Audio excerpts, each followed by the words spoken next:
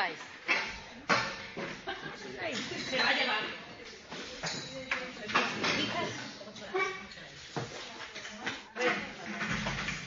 Vamos a hacer un resumen. Bueno, espero que tú me escuche bien. Si no, eh, que nos avise, ¿vale? Vamos a hacer un resumen de lo que vimos la semana pasada, porque tú no se pudo conectar porque era Santelmo. Entonces vamos a darles ahí un pequeño resumen de lo que vimos. ¿Quién se acuerda de lo que vimos? A ver. ¿Qué vimos la semana pasada? Os doy una pista. Empieza por... No me miréis el libro, empieza por C.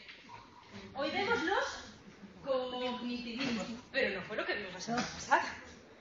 La semana pasada vimos los conductismos. Muy bien, ¿vale? Y vimos, voy a poner una pizarra en blanco. Sois, vamos, sois de lo que no, sois de lo que no hay. ¿No os acordáis de una semana para otra? Vamos, ni aunque. Ni aun, ni, aun, ni aun hacerlo a propósito. Vamos allá. Bueno, no te preocupes que voy a coger una. Voy a poner una pizarra.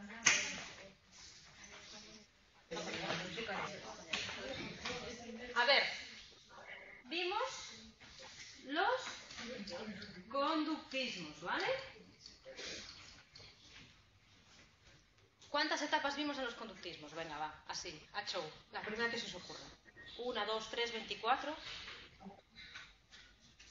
Dos, ¿no? Dos, ¿vale? Vimos una primera etapa, muy bien. Una primera etapa que iba hasta aproximadamente 1920-1930, que se llamaba ¿qué? ¿Conductismo qué? Conductismo clásico, muy bien. ¿Qué figura es la representante de ese conductismo clásico? Venga. Empieza por W. Y os doy otra pista, no es Wundt. Watson, muy bien. Este es el que inició lo que se llama, o lo que se llamó el movimiento conductista, ¿vale? El que definió cómo debería ser un psicólogo que se considerase conductista, ¿vale? En un artículo que publicó en el año 1913, que se llamaba, o le llaman de manera genérica, el Manifiesto Conductista, ¿vale? Venga, preguntas. ¿Los conductistas estudian la mente o estudian la conducta? Conducta. Conducta. Entonces, ¿qué pretenden? Cambiar el foco de la psicología, no tanto para los contenidos mentales como para las conductas observables, ¿vale? Se propone que se haga, igual que el resto de las corrientes, de una manera estricta, sistemática, con un método objetivo, ¿vale? Solo que en vez de estudiar lo que hay dentro de mi cabeza, voy a ver lo que yo puedo observar. ¿Bien? Esto es la base de este señor de aquí, de Watson. ¿Qué pasó con Watson? Que se retiró por la mujer, no sé cuánto, se fue al campo a poner sus eh, zanahorias y ahí se acabó el conductismo clásico. A partir de 1930, ¿vale? Vemos que el conductismo toma como dos vertientes. Una vertiente que se llama, de manera genérica, conductismo mediacional, ¿vale? Y una vertiente que se llama conductismo, ¿qué? Venga, venga, venga. Radical. ¿Os acordáis? Yo di esta clase la semana pasada. Sí, sí, sí, sí, sí, ¿Vale? Y otra que se llama conductismo radical. ¿Vale? Ya no os voy a decir en qué consiste el conductismo mediacional ni quiénes son los autores, porque vamos, si no me contestáis a esto, no me vais a contestar los demás, ¿vale? Autores del conductismo mediacional. Juli. T O L M A L. Muy bien. Juli Tolman. Son estos dos autores que se consideran dentro de esta corriente del conductismo mediacional y que como su nombre indica, lo que me están diciendo es que entre los estímulos y las respuestas, que es lo que quería estudiar Watson, hay variables intermedias que estarían explicando la relación entre unas y otras. Uno dice que son propósitos el otro dice que son instintos. ¿Vale? Esta es la característica básica de este conductismo mediacional. Frente a este conductismo mediacional, que acordaros que lo que pretendía era completar la teoría que me había hecho Watson, no se interesaban tanto por los aspectos experimentales. Está un conductismo radical, cuya figura es Skinner. Skinner, ¿vale? que este señor me dice, dejaros de teorías, dejaros de completar, dejaros de tal, vámonos a lo que me dijo Watson al principio, que era experimentación, variables observadas, estímulos y respuestas, punto. Si me estáis metiendo aquí alguna variable en el medio es porque no controláis lo suficiente el experimento como para poder inferir una respuesta en función de los estímulos, ¿vale? Y es cuando él estudia con las ratas, el aprendizaje respondiente, el aprendizaje operante, toda la historia y demás. Bien, aquí es donde nos quedamos. Este conductismo mediacional y conductismo radical va desde 1930 hasta aproximadamente el 1950.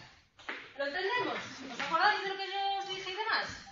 Entonces, ¿en qué nos quedamos la semana pasada? En unas corrientes de psicología que estudian la conducta con variables intermediarias, sin variables intermediarias, eh, con propósitos, sin propósitos, con instintos, instintos y demás, de una manera objetiva, ¿vale? Y con, un entorno muy controlable. ¿Bien? ¿Qué vamos a ver a partir de 1960 aproximadamente? Tened en cuenta que nos habíamos quedado en el conductismo mediacional y en el conductismo radical en los años 1930 y 1950. ¿Qué va a pasar en el 1960? que como pasa siempre en la psicología, donde dije digo, digo Diego. Y hay unos nuevos autores que dicen que lo que vino hasta el momento no vale, ¿vale? Que son aquellos que nosotros asociamos con los cognitivismos, ¿vale? 1960, el año. El país, o los países por decirlo así, los Estados Unidos. Ojo, al igual que lo que habíamos visto con Watson. ¿Qué pasará? ¿Qué creéis que será? ¿Será una continuación de la corriente anterior? ¿Creéis que será algo totalmente distinto o qué? Venga, darle un poco al poco. Distinto. Va a haber un cambio, va a haber un cambio, ¿vale? Lo que se llama un cambio de paradigma, ¿vale? ¿Que fue una, verdadera revolución, como quieren decir muchos? Bueno, ya veremos si realmente es así o si ya hubo corrientes intermedias entre el conductismo y el cognitivismo, ¿vale? Pero esta corriente no se va a parecer en nada al anterior. ¿Por qué? Porque si el conductismo me dijo que yo tenía que estudiar la conducta, los cognitivistas vuelven a estudiar la mente o cómo funciona lo que está dentro de mi cabeza, qué funciones desarrolla, a qué se asemeja y demás. Y como veis aquí, hacen una comparación entre lo que es la mente de un ser humano y el funcionamiento de un ordenador. ¿Vale? ¿En qué me van a hablar ahora entonces? Me van a hablar de input, output, eh, eh, bits, ¿vale? Van a utilizar un, un lenguaje tecnológico, ¿vale? Para explicar un proceso psicológico. ¿Lo entendemos? ¿Por qué? ¿Por qué utilizan un lenguaje eh, tecnológico para explicar un proceso psicológico? Porque a partir de 1960 y en los Estados Unidos se produce una revolución tecnológica. Tened en cuenta que a partir de la Segunda Guerra Mundial se empiezan a utilizar radares, se empiezan a utilizar sonars, empieza a haber eh, la construcción de los primeros ordenadores. ¿Todo eso qué hace? Que de repente haya lenguaje que no se venía utilizando hasta ahora, que se empieza a utilizar. Se hablan de componentes, se habla de hardware, se habla de software. Pues ese mismo lenguaje que se está utilizando para la tecnología, ¿vale? Se empieza a aplicar a la psicología. ¿vale? Se cambia de paradigma. Paso de estudiar la conducta a estudiar la mente, pero desde una nueva perspectiva. Desde, desde la perspectiva que se llama del procesamiento de la información. ¿Y qué voy a utilizar? Voy a utilizar el mismo lenguaje para descubrir cómo funciona un ordenador a cómo funciona la mente humana. ¿Lo entendemos? ¿Nos situamos más o menos? ¿Sí? Vale. Esto, gracias a qué sucede, no solo a los avances que se dan tras la Segunda Guerra Mundial y demás.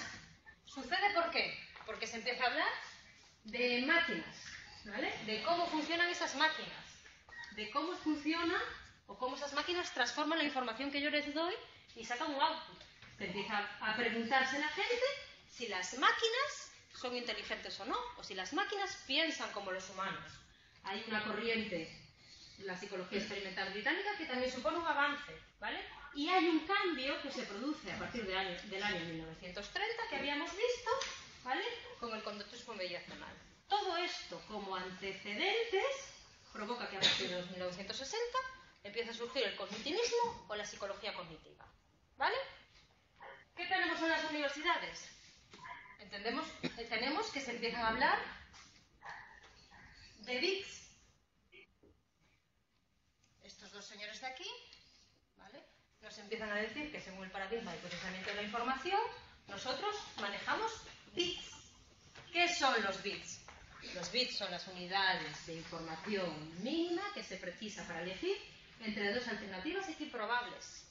Este bit que utilizan los ordenadores, el lenguaje binario este de los ceros para saber cómo tienen que funcionar, estos señores me dicen que lo utilizan también los humanos para tomar sus decisiones.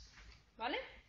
Ojo, este señor de aquí, Miller, me dice que nosotros como seres humanos, al igual que lo pasaba con los ordenadores, agrupamos esta información en unidades cada vez más grandes, que ya no les llamo bits, sino que le llamo el chunk. ¿Vale? Esta misma aplicación que yo tengo, ¿vale? En los ordenadores, en el funcionamiento de los ordenadores, estos señores me dicen que pasa lo mismo con los humanos, ¿vale? Y me empiezan a hablar de que si yo proceso bits, de que si yo proceso chunks, si el ser humano hace una cosa o si el ser humano hace la otra, ¿vale? Ojo, empiezan a pensar que el funcionamiento del ser humano y el funcionamiento de mi sistema nervioso central es el parecido al, de un, al de instrumento de retroalimentación, como el que pueden ser, por ejemplo, el que utilizan las calefacciones, y que nosotros respondemos de manera mecánica a los cambios que hay en nuestro entorno. ¿vale? ¿Qué pasa cuando yo programo el termostato de mi calefacción? Que yo le marco una temperatura ideal, por ejemplo, 20 grados, y oscilaciones tanto por mayor como por defecto, hay un sensor que las detecta, Y pone en, en marcha un mecanismo de manera automática. Cuando me paso de los 20 grados se apaga la caldera, cuando bajo de los 20 grados se enciende la caldera. Bueno, muy bien, pues ya se empieza a hablar que nuestro sistema nervioso funciona de esa manera, que tiene un dispositivo basado en la retroalimentación, ¿vale? Y que está regulado por un intercambio de información con el entorno y se activa o desactiva en función de las consecuencias de esa activación. ¿Qué me están diciendo aquí? Que mi respuesta ante el medio ambiente es más o menos automática o mecánica, que simplemente detecto oscilaciones desde un punto que yo considero ideal mi sistema nervioso se pone en marcha en función de los cambios que se produzcan. ¿Lo entendemos? ¿Qué antecedentes hay? Empieza a preguntarse si las máquinas son inteligentes o no, si hay una inteligencia artificial. Todo esto gracias a este señor de aquí, que es Turing. ¿Sabéis quién es Turing? Hubo una película hace poco sobre él y demás. Vale. Pues Turing, ese es el primero que se pregunta si las máquinas pueden simular el comportamiento humano. Y propone un experimento muy sencillo que, él que para él determina si las máquinas son inteligentes o no.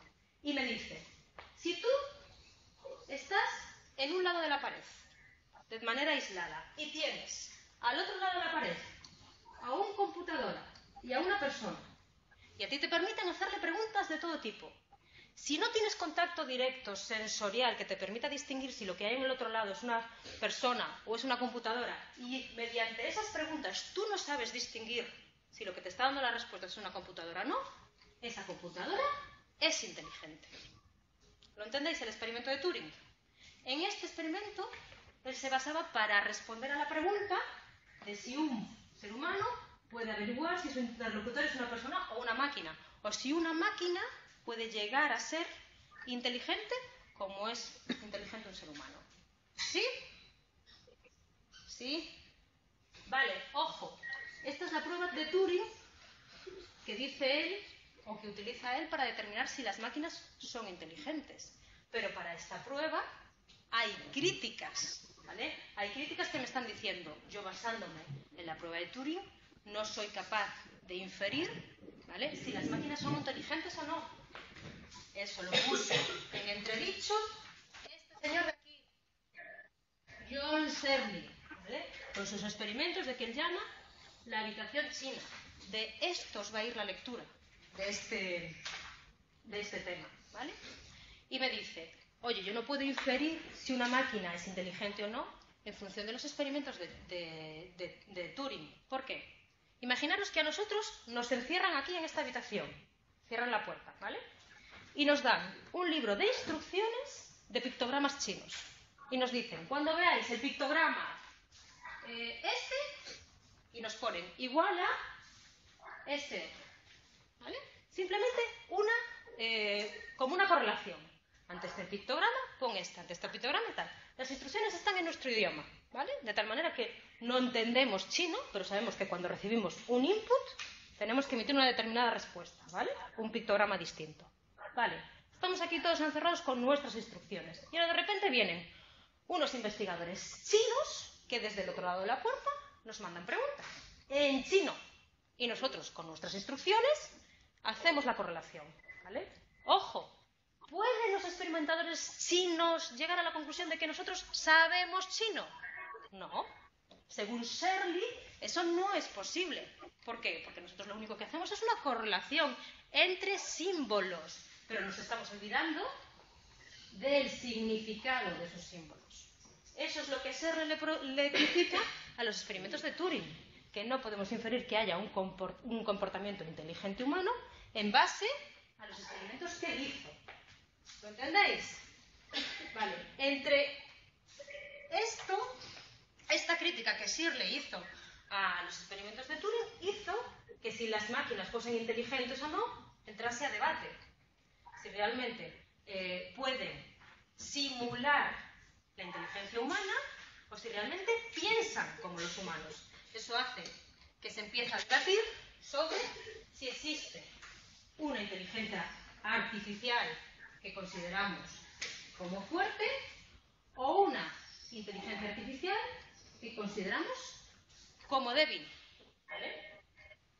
La inteligencia artificial fuerte es la que me dice que las máquinas piensan como los seres humanos imitando todos los procesos que hacen los humanos. O sea, realmente son inteligentes como los humanos.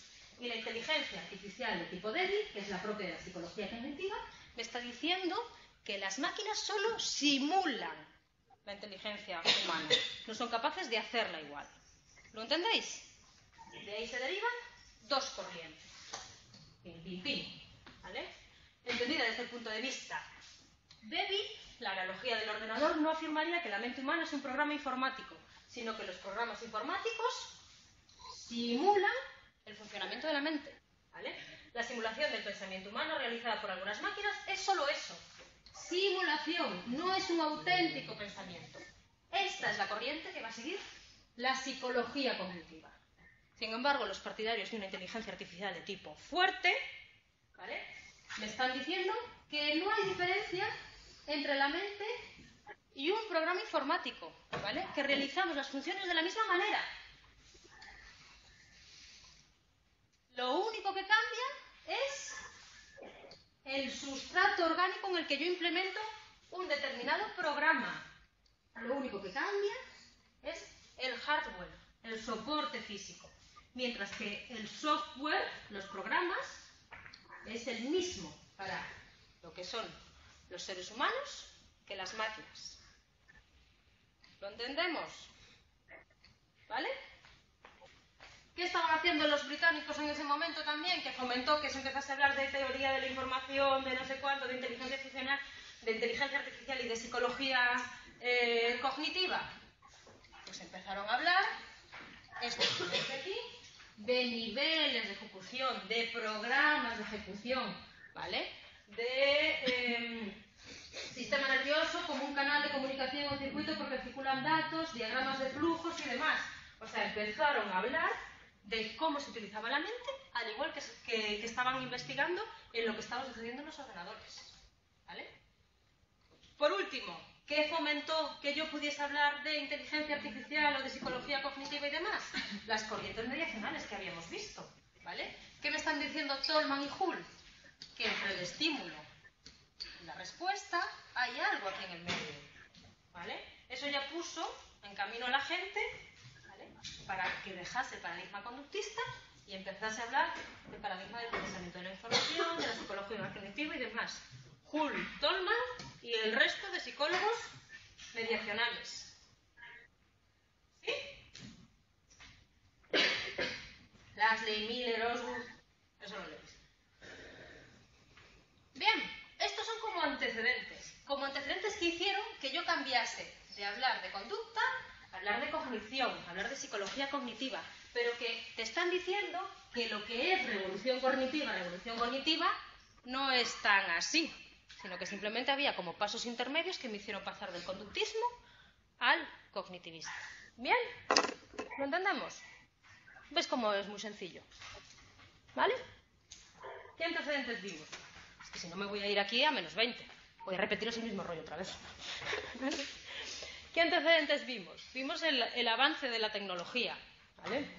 Vimos como de repente hablo de hardware, hablo de software. El hardware es el sustrato físico en el que yo implemento un programa, que es el software.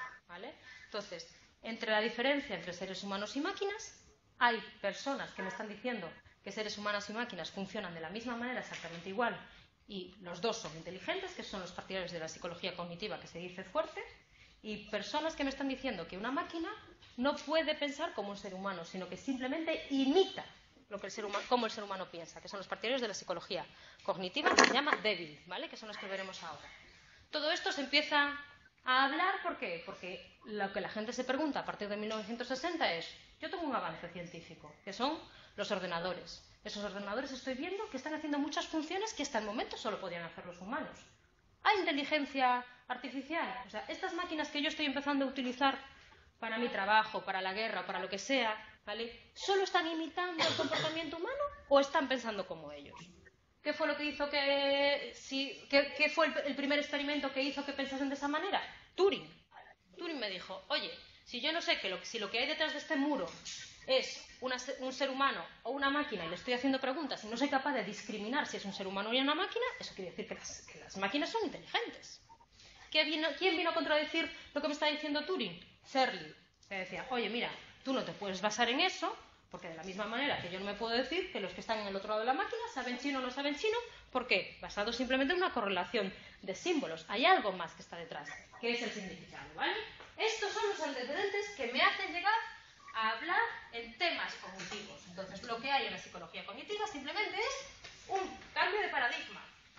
Paso de estudiar la mente, paso, paso de estudiar la conducta a estudiar la mente desde un nuevo enfoque, desde el enfoque que se llama de procesamiento de la información. ¿Vale? ¿Cuál será ese enfoque del procesamiento de la información? Vosotros tratar de hablar como si fueseis un ordenador. Yo recibo un input, que puede ser una señal de ratón, un escáner, lo que sea, y lo que hago con ese input es transformarlo en función de una serie de algoritmos o reglas lógicas. Pues eso es lo que vamos a ver ahora, solo que aplicado a la mente del individuo. ¿En qué se caracterizan los psicólogos cognitivos? De esta manera. La psicología sigue siendo una ciencia. Eso no cambia, ¿vale? pero es una ciencia cuyo objetivo del estudio ya no es la conducta, sino es el procesamiento mental, ojo, cambiamos, ¿vale? De las distintas clases de información procedente de los órganos sensoriales, de la vista, del tacto, del gusto, ¿vale? ¿Cómo es ese procesamiento de la información? Es un procesamiento que se basa en símbolos, lo que yo recibo a través de mis eh, sentidos, lo transformo en un símbolo, ¿vale? Y mediante una serie de reglas, de reglas lógicas, ¿vale? Lo voy procesando a través de una serie de instrucciones, ¿vale? ¿Qué rasgos serán? Característicos de la psicología cognitiva. El concepto de representación, el concepto simbólico, el concepto abstracto, ¿vale? Ojo, énfasis en la especialización sensorial, y la concepción mecanicista de la psicología. ¿Qué quiere decir una concepción mecanicista? Que yo hago transformaciones automáticas de ese input, ¿vale? Que esto es como algo de manera automático. ¿Lo entendemos? ¿Veis el cambio con la corriente anterior? El conductismo era objetivo, lo que yo puedo ver, y la conducta que yo puedo ver, ¿vale? ¿Cuál es mi, meta final? Controlar y predecir esa conducta. El cognitivista, el cognitivista es, no me voy a centrar en lo externo, sino me voy, a, me voy a centrar en lo que pasa aquí, en las transformaciones que mi cuerpo hace o que mi mente hace de lo que recibe mi cuerpo a través de mis sentidos. Lo que recibo de mi alrededor lo transformo en un símbolo. Y ese símbolo, ¿vale?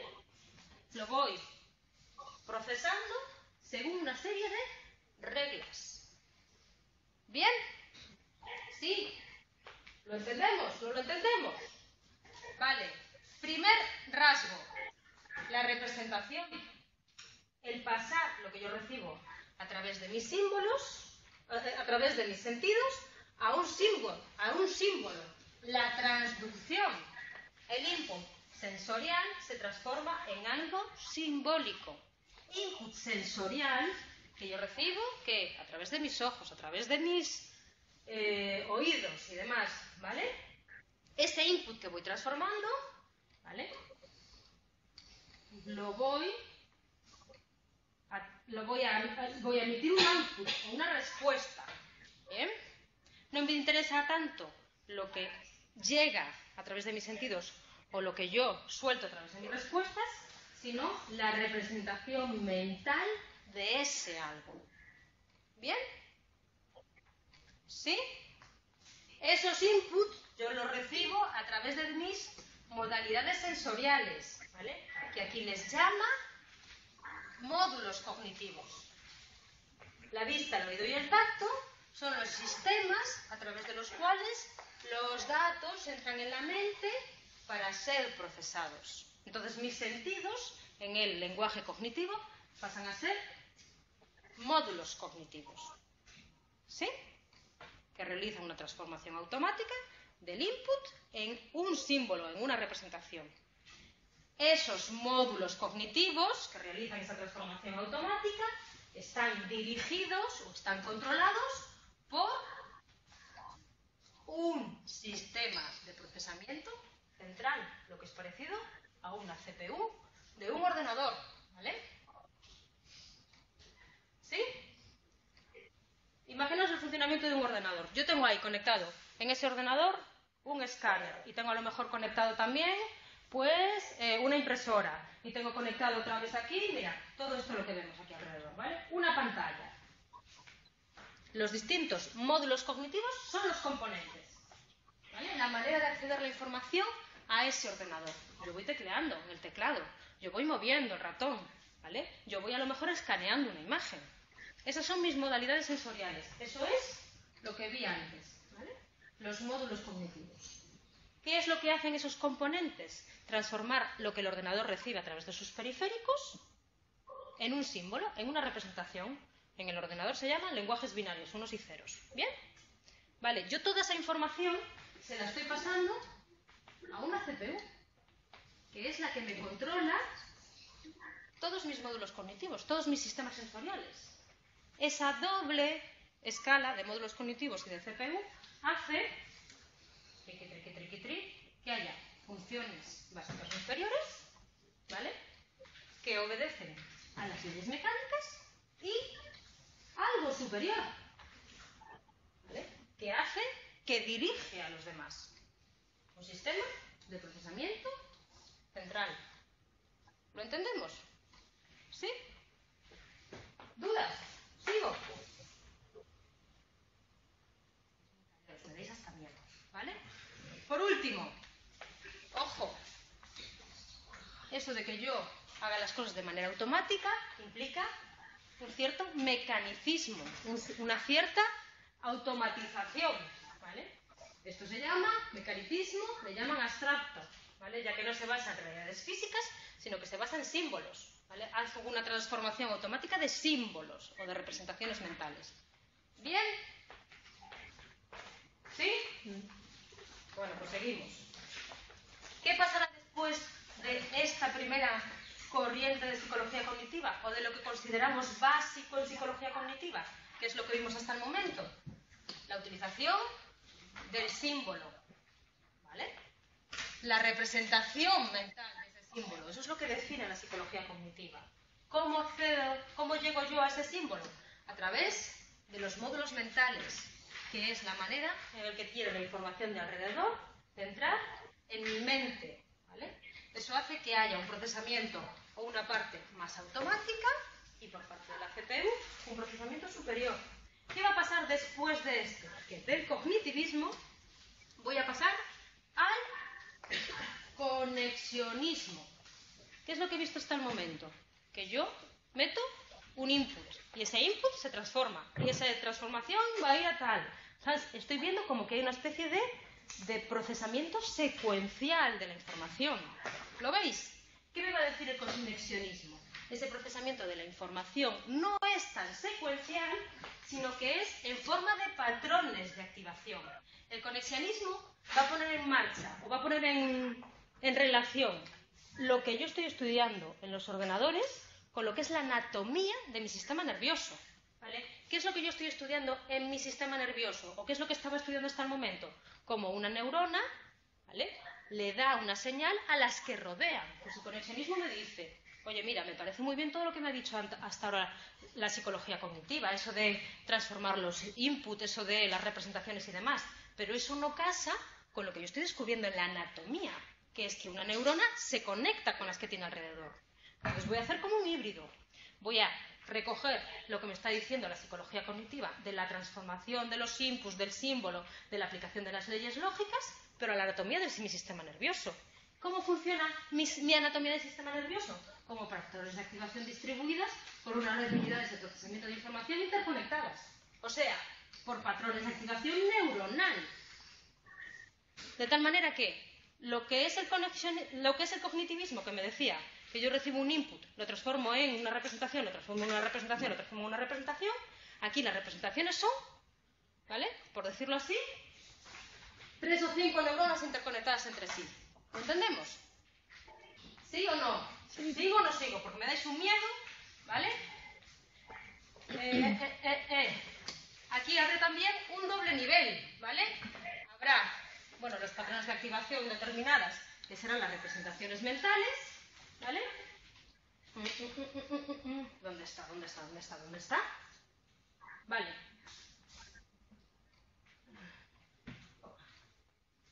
Nada, no, no, no lo puse. No pasa nada, vale, da igual. ¿Vale? Y será esos patrones, ¿vale? La manera que tendrá el cerebro de funcionar con esas representaciones. ¿Sí? Por último, desarrollo posterior de la psicología cognitiva, la psicología evolucionista, que me está diciendo que nuestra arquitectura psicológica es una propiedad de nuestro sistema nervioso y cuál es el resultado de nuestro genotipo, que es el resultado de millones de años de evolución biológica. Y que me vuelve a hablar de nuestra querida selección. ¿Sí? Pues con esto nos hemos quitado el cognitivismo. Con esto, ¿vale? Se acabó nuestro tema 12. Vosotros lo que tenéis que leer es esta lectura de qué? La habitación china. ¿Entendimos o no entendimos? ¿Repito o no repito? ¿Repaso o no repaso? A ver, ¿quién me sabe decir lo que vimos hoy? Y esta vez no espero la semana que viene. Venga. Venga. Vamos, hombre, que me quedan 20 minutos y a mí me pagan por estar aquí. A ver, venga. Los cognitivismos, muy bien. Vale. A ver, para empezar, ¿dónde nos estamos moviendo? Nos estamos moviendo en una corriente europea o una corriente americana. Americana. Una corriente americana, ¿vale? Entonces, si es una corriente típicamente americana, quiere decir que la corriente americana anterior se entiende terminada, ¿vale? Que es el conductismo. Bien, perfecto. ¿De qué años más o menos nos estamos moviendo? ¿1900? 50, 60. Vale, 50, 60 y demás. ¿Qué pasa en América en 1950 y 1960? Que hay una revolución, ¿vale? De la informática, de los ordenadores, del procesamiento de la información, de la tecnología, ¿vale? ¿Yo qué voy a hacer como psicólogo? Coger lo que les estaba funcionando a otras disciplinas y aplicarlo a mi objeto de estudio, ¿vale? ¿Cuál va a ser mi objeto de estudio? ¿La conducta o la mente? La mente. La mente y lo que esa mente puede realizar. Y voy a seguir la analogía del funcionamiento de la mente con el funcionamiento de un ordenador. ¿vale? ¿Qué pasa en un ordenador? El ordenador transforma la información que recibe ¿vale? en forma de bits. Unidad mínima mm, para escoger entre dos opciones. ¿vale? ¿Qué es lo que estoy viendo yo en otras disciplinas? Que transforman la información según una serie de, de leyes lógicas y emiten una respuesta. O eso es lo que me está haciendo a mí el ordenador. Pues ¿qué voy a hacer yo? Decir que la mente humana funciona de la misma manera que están funcionando los ordenadores, que los radares que están inventando, que los sonars y que demás. Si mente humana y ordenadores pueden funcionar de la misma manera, eso quiere decir que los ordenadores son inteligentes como somos los humanos. Eso es lo que se pregunta. ¿Quién? Turing. ¿vale? Y hace un experimento muy básico y muy sencillo para determinar si las máquinas son inteligentes. ¿Bien? De repente llega otro tío que le dice a Turing, por aquí que te vi, ¿vale? Las máquinas no son inteligentes según tu experimento, ¿vale? ¿Por qué? Porque no podemos determinar si una máquina es inteligente o no en función de eso. ¿Quién es? Sergi, que es el que hace el experimento de la habitación china. Pero la pregunta ya está en el aire. O sea, ya está la pregunta en el aire de si las máquinas piensan, si imitan el comportamiento de los humanos, si lo simulan y demás, o si realmente son inteligentes. ¿vale? Eso es lo que hace que me discrimine como dos corrientes. Una psicología cognitiva que yo entiendo fuerte y una psicología cognitiva que yo entiendo como débil. La psicología cognitiva fuerte me está diciendo que máquinas y humanos piensan de la misma manera y que la única diferencia que hay es el hardware o el soporte físico. ¿vale? En las máquinas, en los ordenadores, eh, son los silicios, los componentes, el, no sé qué sustancia química es, ¿vale? Pero en los seres humanos, ese soporte físico son las neuronas. Pero el software o los programas es el mismo, solo que implementado en un soporte físico distinto. Esa es la psicología cognitiva fuerte, ¿vale? ¿Cuál será la corriente de la psicología cognitiva débil, la nuestra, aquella que me dice que las máquinas solo pueden simular el comportamiento humano o la inteligencia humana? ¿Bien? Vale, esos son los antecedentes que me hicieron llegar a, lo que es definir la psicología cognitiva. Ayudó la, revolución de las máquinas y ayudó que haya ciertas conductas, o sea, ciertos corrientes conductistas, que es el, conductismo mediacinal, que ya estaban empezando a decir que entre estímulos y respuestas había algo en el medio, que era el organismo. ¿vale? A partir de ahí llegamos a lo que es la definición propia y dura de psicología cognitiva, que es una ciencia objetiva que lo que está haciendo es estudiar cómo la mente humana transforma la información en un paradigma que se llama de procesamiento de la información. ¿Y qué me dice? Que la mente humana procesa el input o la información que recibe a través de sus sentidos, que son los módulos cognitivos. Bien, esos módulos cognitivos realizan un procesamiento de la información mecánico o automático y tiene que haber un sistema central que los controle, que es la CPU. Bien, estoy hablando de módulos cognitivos, estoy hablando de transformación, entonces, ¿a qué le estoy dando yo mucha importancia? A la representación de esa información, a los símbolos. ¿Vale? Esos son los tres rasgos que me definen la psicología cognitiva. Mecanicista o automática en cuanto a la información que reciben a través de los distintos inputs, los módulos cognitivos y la importancia que le dan al símbolo, a la representación de esa información. ¿Vale? Bien. Corriente de psicología cognitiva. Perfecto. ¿Qué será posterior a ella y muy relacionada? otra disciplina que se llama conexionismo, que sigue pensando en la representación, sigue pensando en los módulos cognitivos, sigue pensando en el mecanicista, pero adopta eso a lo que son los avances del funcionamiento del sistema nervioso que se iban descubriendo. Oye, yo sé que la neurona dispara un impulso, un potencial de acción que transmite hacia sus vecinas. Pues voy a decir que esa representación o esa transformación de la información que el, cognitivismo me estaba diciendo que se hacía de manera secuencial, oye, pues no, yo voy a decir que se hace de manera de patrones de activación de las neuronas. Y eso es el conexionismo. ¿Bien? Perfecto. Entonces no tendréis problemas en responderme a una serie de preguntas, ¿vale?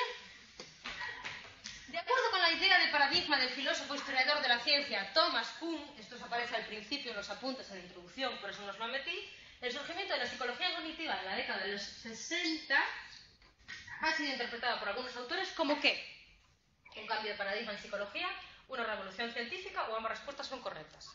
Sí, ambas. Yo tengo mis dudas, ¿vale? Yo os la pongo para que vosotros penséis un poco tal. Yo diría que la correcta... La Espera. Diría la sí. ¿Dónde está? No. Yo diría que la correcta es la Ojo, voy a poner aquí en alto para que lo sepan. Interpretación personal. ¿Vale? Porque algunos consideran una Justo. revolución. Es mi interpretación personal y que esto quede claro, ¿vale? Yo creo que la respuesta correcta es la A. ¿Por qué? Porque muchos no ven un determin- una determinada revolución. Entre lo que es el conductismo y lo que es el cognitivismo. Otros dicen que sí. De esta opción hay debate. Hay debate de que si la gente piensa que el cognitivismo supuso una verdadera ruptura con la corriente anterior, y hay gente que dice que lo único que pasa es que hubo un cambio de paradigma, un cambio de foco. En vez de estudiar la conducta, yo voy a estudiar la mente. ¿Vale? Pero os la dejo en el aire para que vosotros lo interpretéis. ¿Vale? Segunda opción. ¿Cuáles son los siguientes desarrollos científicos y técnicos que confluyeron en la psicología cognitiva contemporánea?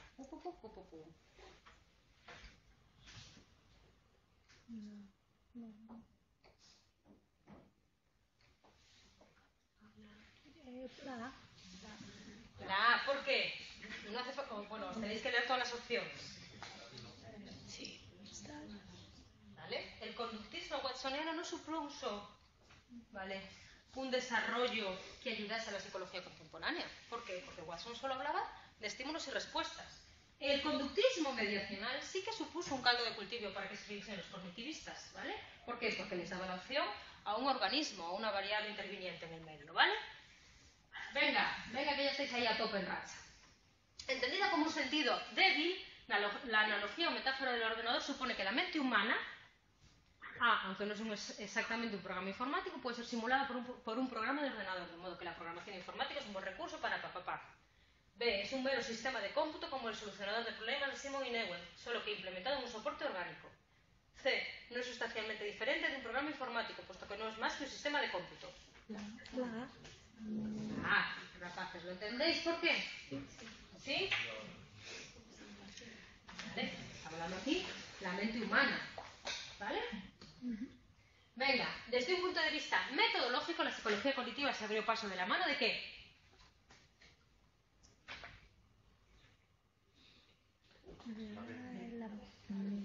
Muy bien, rapaces, muy bien. Estáis a tope con la vida. Va, la última. La última y nos vamos, ¿vale? ¿Cuál de los siguientes psicólogos, sin ser un psicólogo cognitivo propiamente dicho, influyó directamente en la psicología cognitiva con sus experimentos de laboratorio sobre la percepción y memoria realizados en la Universidad de Cambridge desde los años 20 del siglo pasado? No te preocupes, eso es porque lo tenéis que chapar en casa, ¿vale?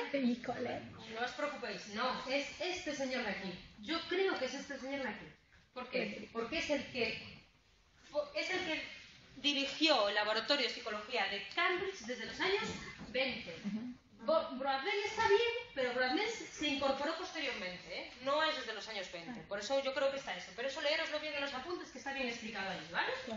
Y con esto terminamos nuestro querido tema 11. Y solo nos queda un tema, los constructivismos. Terminamos el temario y empezamos con los comentarios de texto, ¿vale?